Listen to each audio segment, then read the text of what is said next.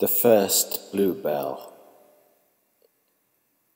When all the earth lay still and cold, Bold ice, all green, his prey caressed, And stirred blurred memories that blessed The sad, cruel heart of loneliness.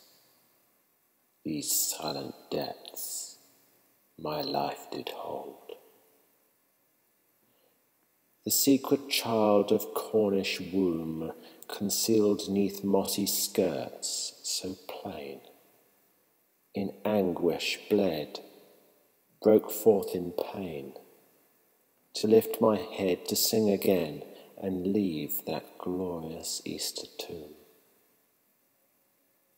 At last to dance beneath the moon, And turn with wonder to the skies and yield such purple scented cries that mortal stop and closing eyes will share with me life's gladdest tune.